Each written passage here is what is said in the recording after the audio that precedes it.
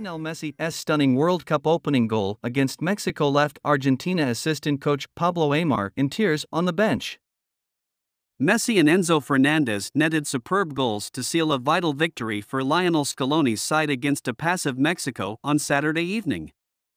Had Argentina lost their second game, the pressure and expectation was visible on the Argentina bench, as assistant coach Aimar could be seen with his hands covering his face as he was visibly emotional after Messi's strike.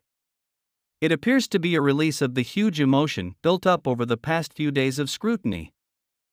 Argentina secured the victory late on as substitute Fernandez scored from a Messi assist to further alleviate the pressure, but it will return as Scaloni's side conclude their group stage campaign against Poland, and they will likely need a win to seal qualification for the round of 16.